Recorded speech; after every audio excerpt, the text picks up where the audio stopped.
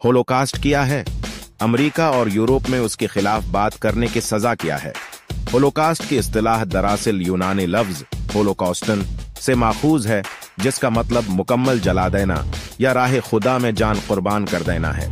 यहूदी कहते हैं कि दूसरे जंग अजीम में जर्मन फौजियों ने तकरीबन एक करोड़ से ज़्यादा यहूदियों को मुख्तलिफ़ इंतहाई दर्दनाक तरीके से मरवाया था, जिसमें काबिल ज़िक्र ज़िंदा जलाना गैस के चेम्बरों में बंद करके बाहर से आग लगाकर गोश्त की तरह पकाना, जहरीली किमियाई मादों का स्प्री करना और बुहूक से मारना, और वो उसको होलोकास्ट कहते हैं। यहूदियों ने कानून बनवा दिया है, जिसकी वजह से मगरब में अगर कोई शख्स होलोकास्ट की माहित पर बोलने और उस पर तहकीक करने की कोशिश करता है तो इस पर अदालती कार्रवाई होती है और नतीजे में नकद जुर्माना या फिर कैद की सजा भी उसको भुगतना पड़ती है।